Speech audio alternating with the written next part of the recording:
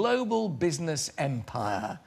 Last year, his tour outsold most other acts around the world, including Bruce Springsteen. Little wonder, as he sold more than 22 million albums. Last week was awarded a Classic Brit Award for Album of the Year, performing My Heart Will Go On. Please welcome the one and only Andre Rieu and his Orchestra.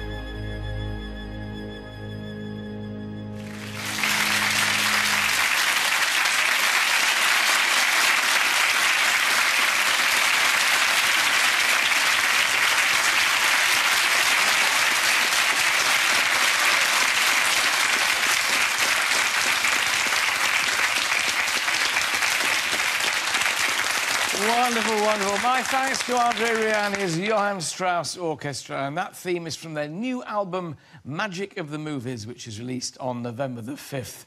Ah, what a wonderful way to end. That's all for this week on The AT Show. Next week, Lord Lloyd Webber.